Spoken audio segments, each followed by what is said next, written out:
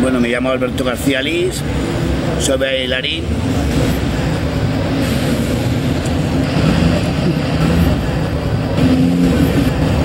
Bueno, que para mí la fotografía es un espacio donde inventarme. Es la, me- la mejor forma que tengo de definir qué es realmente, porque podría dar muchas cosas sobre la fotografía, pero he llegado a la conclusión de que es un espacio donde crear, donde inventarme a mí mismo.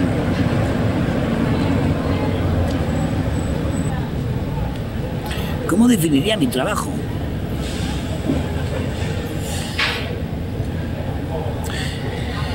Bueno, pues lo- cuando miro por cámara lo que busco es una revelación.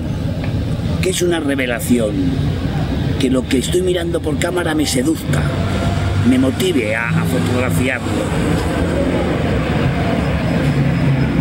Y luego hay más cosas, ¿no? La fotografía también es la intencionalidad. Retratar es intencionar la, la mirada. Podemos hacer una foto buena a alguien a con, así una instantánea, pero un retrato necesita una intención.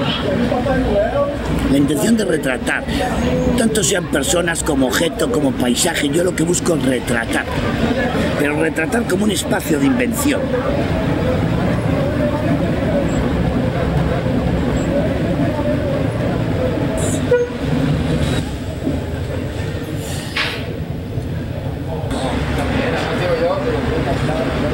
Un cruce de diálogos, ¿y qué es un cruce de diálogo? Sí lo hay, inherente. Porque siempre hay dos posiciones, la del fotógrafo y la del modelo, ¿no? La del fotógrafo y lo fotografiado.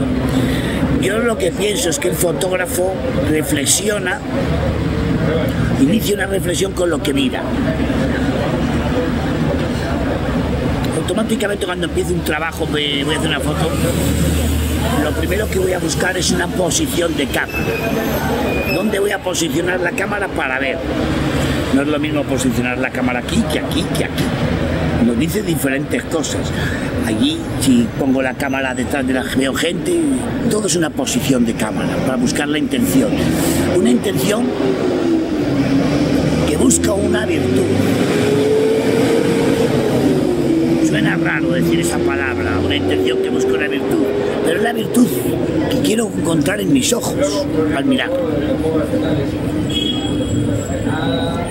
Sé cuando lo hago mal o cuando bien, y sé cuando soy más yo y cuando soy menos yo, cuando me reconozco más.